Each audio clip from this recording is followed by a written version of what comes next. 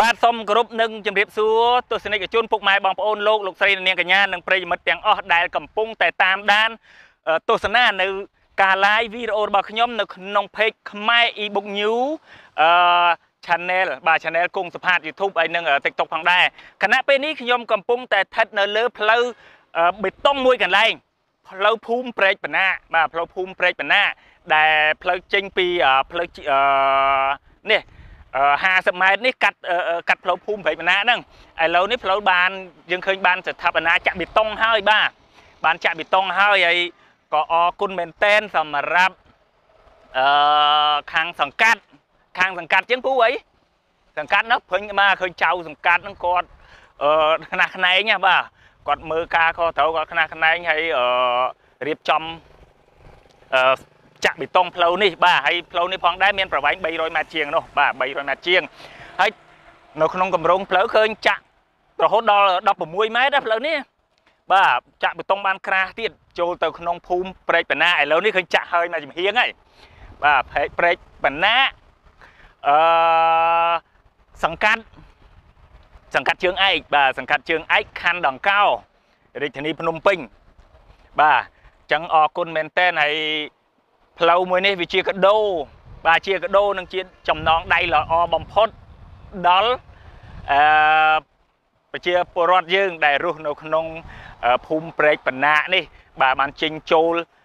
បាទចេញចូលស្រួល បាទព្រោះមានផ្លូវបេតុងបាទចេញចូលស្រួលមែនតែនបាទផ្លូវរហូតដល់16ម៉ែត្រឯនោះឥឡូវចាក់ហើយមកចំហៀងនេះចាក់ហើយមកចំហៀងហើយបាទអាទិត្យក្រោយនេះ មែនអាទិត្យក្រោយកំពុងចាប់ផ្ដើមចាក់មកចំហៀងទៀតបាទចាក់អាទិត្យក្រោយប្រហែលជាហើយអាទិត្យក្រោយប្រហែលជាហើយផ្លូវនេះបាទគេធ្វើឲ្យហើយមុនចូលឆ្នាំមួយបាទចុះឥឡូវយើងមើលអឺនៅតែ10ថ្ងៃជាងទៀតហ្នឹងនៅ10នៅតែ10ថ្ងៃជាងមួយអាទិត្យជាងណាមួយអាទិត្យជាងទៀតទៀតចូលឆ្នាំហើយអញ្ចឹងខំប្រឹងចាស់ហើយមុនចូលឆ្នាំនៅកំពុងញាប់ដៃញាប់ជើងអឺអរគុណណាស់បាទអរគុណមែនតែនលោកចៅសង្កាត់ ដែលបានលើកកម្រងឲ្យខ្នះខ្នែងរៀបចំកសាងនៅផ្លូវប៊ូតុងមួយកន្លែងសម្រាប់ភូមិព្រែកបណាសង្កាត់ជើងឯកខណ្ឌដង្កោរាជធានីភ្នំពេញយើងនេះមានប្រវែងរហូតដល់300ម៉ែត្រជាងនោះហើយទំហំផ្លូវដូចខ្ញុំនិយាយចឹង16ម៉ែត្រផ្លូវធំហ្នឹងនេះអឺឃើញសកាត់ភៀកំពុងតែចាក់នោះទៅនោះបាទអរគុណណែ ឡានបាទកំពុងតែចូលចាក់បដាបដាហើយធ្វើមិនក៏ដោយឲ្យហើយនៅក្នុងមុនបុណ្យចូលឆ្នាំខ្មែរយើងខាងមុខនេះបាទអញ្ចឹងសូមជូនជាព័ត៌មានព្រោះខ្ញុំកាលពីឆ្នាំទៅឆ្នាំទៅមួយខ្ញុំធ្លាប់ជិះកាត់ផ្លូវនេះបាទជាពិសេសពេលខែមេឃភ្លៀងបាទពេលខែមេឃភ្លៀងវាដីអឺនេះដីដីស្អិតខ្លះអីខ្លះចឹងទៅយើងចូលទៅ ពិបាកបាទវាប្រឡាក់ឡាក់ឲ្យរអិលអីចឹងប៉ុន្តែឥឡូវយើងបានផ្លូវបេតុងឡើងភ្លឹងហ្មងបាទមួយខ្សែនេះវា6ដណ្ដប់ម៉ែនស្រួលជិះដែរឡានបើឡានធំធំពីរគ្រឿងជិះគ្នាយ៉ាងធូរបំផុតបាទអរគុណច្រើនហើយអរគុណ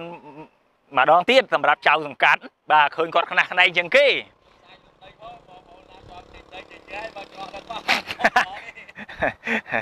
លោកពូគាត់ថាលោកពូនៅចិត្តហ្នឹងគាត់ថាជួយណាទិញដីមកទិញតំណែងមកមិនខុសទេមានអីខុសទៀតបើគុណ3បាទហើយថាពីអឺបើពីមុន100000នេះឥឡូវ20បើដល់ពីមុន20 40ដល់អីហ្នឹងវាបាទពីមុនអានេះ30អីឡើងឡើង70អីហ្នឹងអញ្ចឹងវាធម្មតាបាទ ថតតែផ្លូវស្អាតដីវាថ្លៃហើយបាទផ្លូវស្អាតដីថ្លៃហើយអញ្ចឹងបងប្អូនអ្នកទិញដីឡូយើងដឹងហើយទៅមើលអាផ្លូវណាដែលគេកម្រងនឹងធ្វើប៉ុន្តែមិនទាន់ធ្វើតែញើកុំចាំដល់គេធ្វើហើយបាទយើងដឹងថាផ្លូវហ្នឹងគេកម្រងធ្វើទៅទិញនៅពេលដែលធ្វើហើយបងប្អូនទៅទិញហាក់បីដូចចង់ហួសពេល